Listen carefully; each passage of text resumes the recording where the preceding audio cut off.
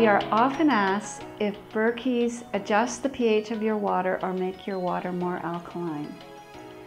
Berkey's are water filters. There's a lot of marketing buzz about making water alkaline, adjusting pH. There are ways that you can do that, and we're going to talk about some of them. Uh, but it's very important to understand why you want to make water alkaline in the first place, and if your water is already alkaline to start with.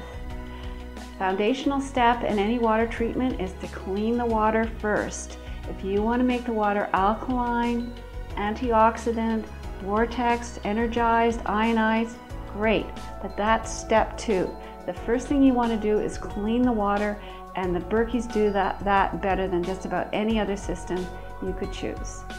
So now if you want to take that second step, you want to know about where the materials are coming from, the quality of them, and if you even really need them, what they're going, what benefits they're going to give to you. Because a lot of people are quite, and marketers are quite vague about what the benefits really are from these.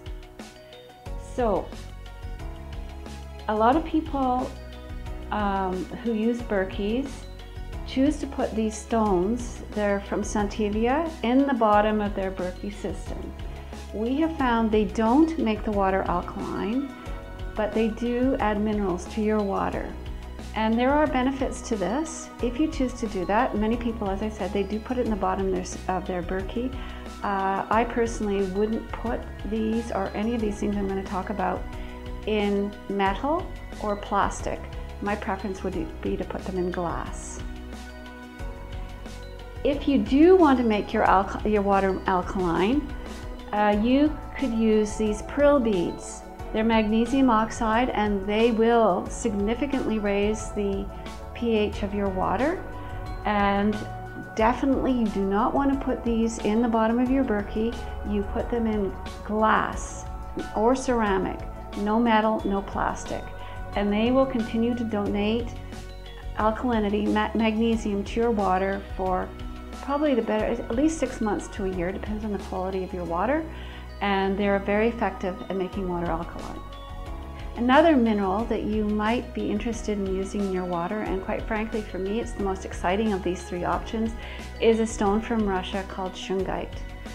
Again, you only use this stone in glass or ceramic, you never use it in metal. So you would not put this in the bottom of your Berkey, you would put it in a glass vessel um, and then fill it with your Berkey water and if you're using the shungite, you would use the lid, leave the lid off because it has to breathe.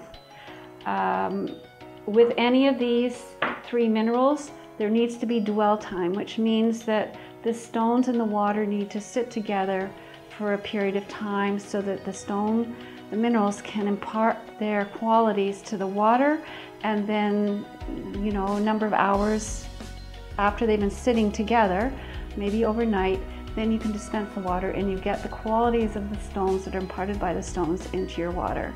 So we will have more information about the, especially the shungite and different ways to enhance your water um, in the future on YouTube channels and our website.